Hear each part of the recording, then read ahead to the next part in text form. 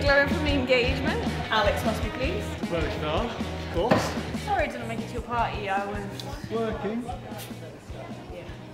Uh, pie favourite? No, thanks. What the bloody hell's that? Kale and avocado smoothie. Laced with gin. Alex wants to go sober. Oh yeah, so tell me about the dream man. It's everything I ever wanted. Get up in the mornings, we do yoga together under the sun. You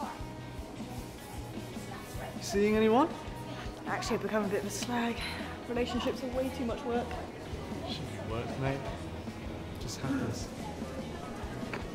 Spoken like a true gay has one dick in his mouth and he's set for life. So, Well, this time last year it was Trish on a Monday, Wendy on a Tuesday. Who was it on the Wednesday?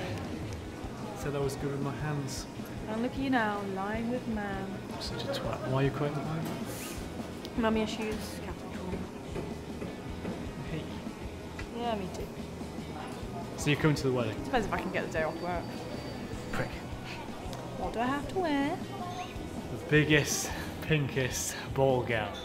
Yeah, you can do one.